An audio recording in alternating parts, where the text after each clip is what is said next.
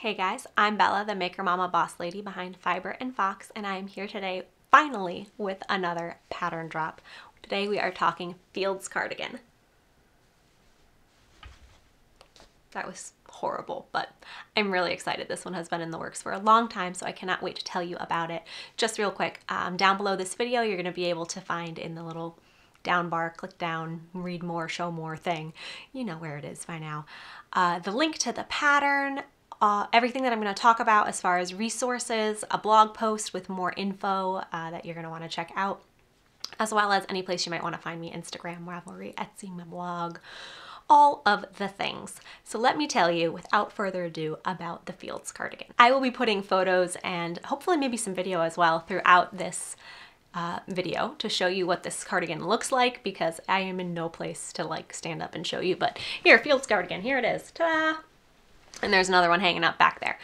Uh, but it is a v-neck, and yes, it's crochet. It's one of those, wait, is that, that's crochet kind of designs that I really love creating. Um, I'll hold this one up for you. It's a v-neck, it's got buttons, it's a real like cozy, I'm calling it like Grandpa Mr. Rogers style, although Mr. Rogers definitely didn't wear v-neck button-up cardigans, but it just feel like it has that feel to it. That cozy casual look that you can definitely dress up, dress down. Um, really beautiful stitch pattern. I'm showing you on the pillier of the two cardigans, but really beautiful stitch pattern, unique construction, and I am just all sorts of in love with it.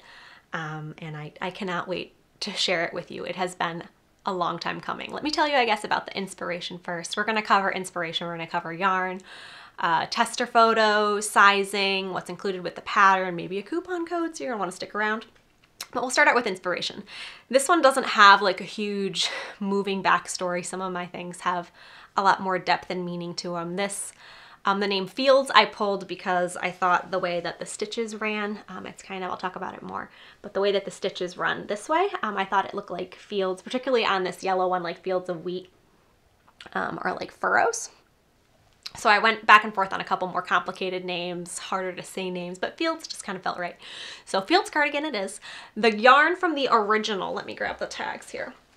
The yarn from the original one, uh, basically this cardigan has been in the works, or at least in my mind since 2018. It's been in the works as a pattern, I think, since May of 2021, and it's now January of 2022. So it's been a long time coming, this one.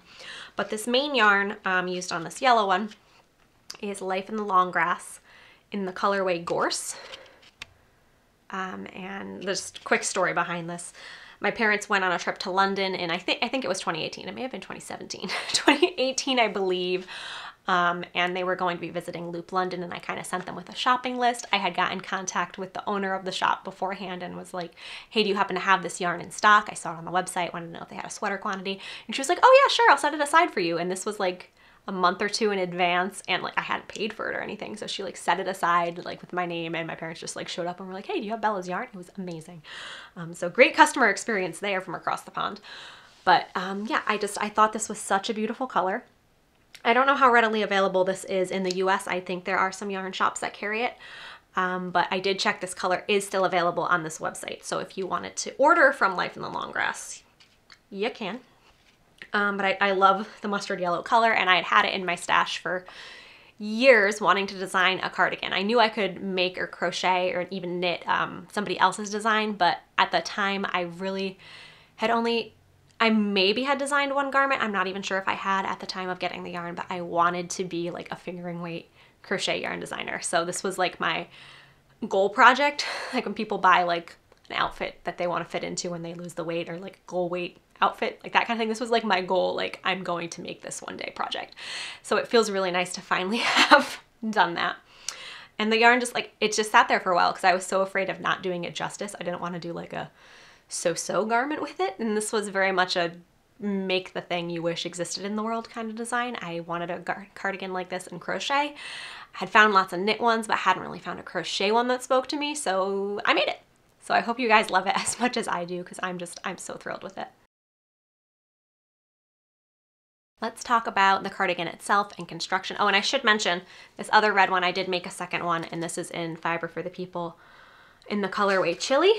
And I think I also failed to tell you that the contrast color on this first one, the main color is the Life in the Long Grass, but this contrast color is Fiber for the People in the colorway leather, except it's an older version of the color leather, so it actually looks different now. It's not the same um, rusty looking situation.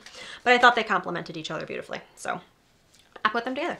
The cardigan itself, construction-wise, is constructed in panels, um, which I know is not everyone's favorite, but it's totally worth it for the structure of the garment, and it, it just turns out beautifully. So it is in panels, um, and the reason that it's not worked in like the round and then shaped is because you're actually going to be working this way. This is how the crochet stitch runs, and then seaming it rotated. So that's how you get that rows going this way situation, um, which I think really makes the cardigan and gives it more of that, wait, is that knit or crochet kind of look. Um, so you are gonna be seaming two front panels and a back panel, and then the sleeves are just worked onto the body. Um, and mine are made and it's noted in the pattern that they are like an extra long sleeve. I have really long arms, I have a really long torso, um, but the sleeves are worked in such a way that you can easily try them on as you go. So if this isn't a length that you love or if my freakishly long arms are not your arms, you can easily alter the sleeves and it's also very easy in the pattern to change um, maybe your body size versus your sleeve size. Um, all the measurements are in there so you can compare and see you can easily size up on a sleeve or size down on a sleeve or whatever you need to do and combine kind of body and sleeve sizes together. Um, so that, I'm looking at my notes over here, to make sure I get it for you, but um, construction wise, highly, highly, I mean, any garment pattern, I'm going to recommend you do a gauge swatch to get a good fit, but because of this um, way that we're rotating the panels, and there's lots of info in the pattern on it, uh, I, you really, you really should gauge swatch, like really do a gauge swatch, block it, let it dry, measure it, because um, that's going to give you really the best fit. Um, all the math and the measurements and whatnot in the pattern have been tested, tech edited, and are, are a good fit. Um, so if you do the gauging as required in the pattern, it should be a fantastic fit for you. But I really, really want to encourage you not to skip that step because I think a lot of times people maybe pay attention more to um, like stitch count but because we're rotate, rotating this, row count is really, really going to matter as well. So do it and get gauge to the very best of your ability. I would encourage you. As far as fit, it is a two to four inches of positive ease. So it that just means that it's two or to four inches larger than your actual body size, your bust size. So there's just like ever so slightly a little bit extra room on the side. The sizing of the pattern itself uh, runs extra small up to 4XL. I'm gonna encourage you to either go check out Ravelry and Etsy um, for all the measurements and yardages and whatnot um, or the blog post. I don't like rambling a, a lot of numbers off in these videos because I feel like it just gets confusing, but it is a size inclusive pattern. It fits a um, actual bust of 28 inches to 56 inches, I believe, and then the finished garment is 32 inches to 60 inches, depending on your size. Um, and like I said, it's easy to combine sleeves and body sizes as well to make that fit you as well as possible because not everybody's body is, you know, the crochet standard or whatever. So you can make it fit for you very easily. Um, the pattern has a detailed tutorial on how to do the buttons um, and also you can pick how many buttons you like depending on your size or um, what size buttons you'd like to use. Um, so I have like a formula in there for doing the buttons. And yeah, I love this, this ribbing detail. I think that really contributes to the wait is it knit or crochet feel again. Um, looks so sharp with the buttons. And then I love this bottom edge with the curve. Like that is like my favorite part. I've used that in a couple of my designs and I just, I think it looks really clean and really beautiful and I love it. So that is a little bit about the, the build or the construction of the cardigan. If you have any more questions, feel free to leave me a comment. I'd be happy to answer. This is the part where I usually talk about the yarn, but we already covered that in the inspiration story. Um, but like I said, this is yarn that may or may not be available to you either location-wise or budget-wise. Um, you do not have to use the yarns that I used in the pattern at all, as long as you are able to meet gauge. It is a yarn, um, it is a fingering weight design. If I haven't said that yet, I really should have, but I design a lot in fingering weight and I know to some crocheters that's like, oh, that's, that's tiny, like that's for knitters. I don't, no, no, no. Like, you can do it. It might be a challenge if it's your first time, um, but it's no different than working with a larger yarn and a larger hook. It's just it's just smaller. The technique is the same, it's just smaller. Um, and it creates a beautiful fit and a beautiful drape and just a really like wearable fabric. Um, and again, that like knit-like feel, which I just so love. So I would encourage you, if you've never worked in fingering weight yarn, to give it a try. Um, either this design, one of my other designs, or some other fabulous fingering weight yarn design. Um, fingering weight yarn also goes by the name of sock weight yarn. Uh, it's a number one weight or a fine weight. Um, some countries call it four ply. Again, any questions, I'd be happy to help. Um, but all the yardages and whatnot are listed in the pattern, so you can pick out a yarn that is going to be perfect for you. I'm not going to ramble off yardages here because you'll just be confused. So go check out the blog post or the Etsy or Ravelry listing, and it has all of the yardages, how many skeins, all of that sort of thing go check it out there. That will help you on that information. And I also want to mention, um, besides you not needing to use this yarn, you don't have to use indie dyed yarn. I know a lot of times crocheters are, um, again, think that that's a thing for knitters. I like to really encourage that and I like to support the indie dyed community, especially in these times where it's, it's hard to be a small business. Um, so I love supporting that when I can.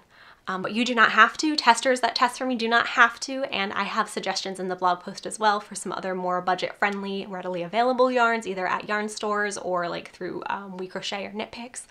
Um, so I don't I don't have all of the options, but there are definitely options for you if you don't want to buy indie dyed, and you can also check out the testers pages. Um, project pages. They're going to be linked in that blog post as well or on Ravelry. Um, so you can see what yarns they specifically use if any of their yarns, which I'll show you in a little bit, speak to you. I like to give you a little bit of a better idea of what's included with your purchase of the pattern. So obviously you're going to get the fully written, um, fully tested, fully tech edited pattern.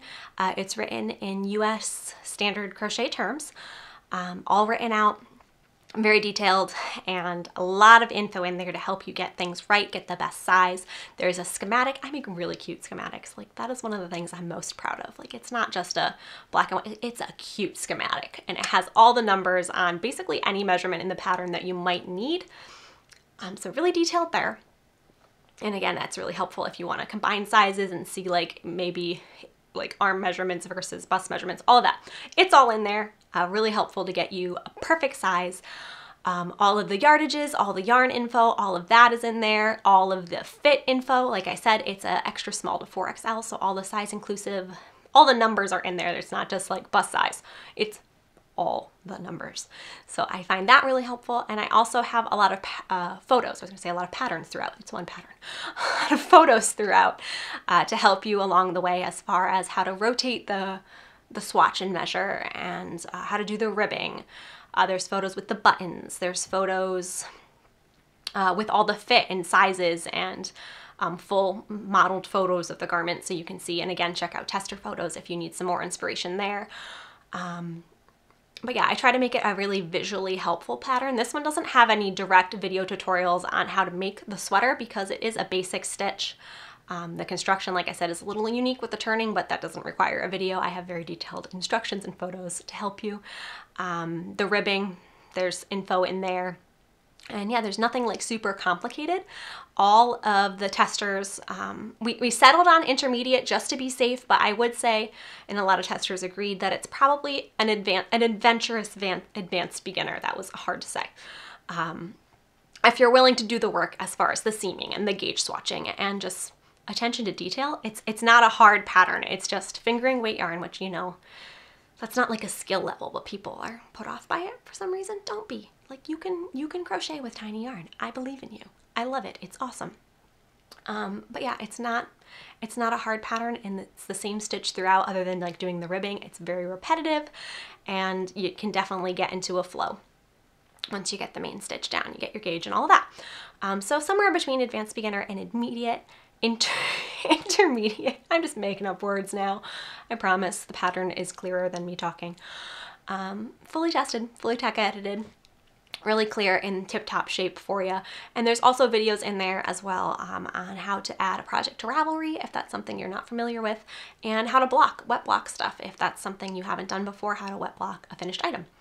Um, so I try to make sure that there's lots of resources in there to help you along the way. But if ever you have a question, feel free to email me at bella at fiberandfox.com. I'm always happy to help and troubleshoot stuff with you if we have to. But I think this one went really well in testing and was very smooth in tech editing. So I think I think it'll be in fabulous shape for you to get started. My favorite part is always sharing tester photos with you. It gives me such joy to see a pattern come to life like And it's always just a sigh of relief of like, okay, I made this and it made sense to me, but when 15 to 20 other people can make it, it's like, okay, we made a sweater. We can do this. Um, so it's, it's just such a joy. And I had a great group of testers and they worked with me through a couple of holidays and I really appreciate that because that's a huge time commitment and to do a fingering weight size inclusive garment is definitely a commitment and I appreciate them. They were fabulous and so many of them came up with color combos that I wouldn't have thought of. A lot of testers did like the, the red version that I have here is a solid, all solid color um, without the contrast or you can, you know, work it in the contrast, totally up to you, the ribbing. Um, but there's just so much inspiration in looking at the tester photos. Now I'm like, oh, I want that color. Oh, I want to do that. That looks so good. like now I want more. I have two. I probably don't need more. Um, but I hope it gives you some inspiration uh, to be able to see it on all sorts of people and in all sorts of different yarn choices. So I'm going to put in a, a tester slideshow, I suppose, here and give you a whole bunch of inspiration. If you want to see their yarns or information or measurements or anything directly, you can check out the Ravelry project pages, like I said, and it's all linked, all of their social media and whatnot um, for those individual testers is also linked in the blog post if you want to stalk them a little bit.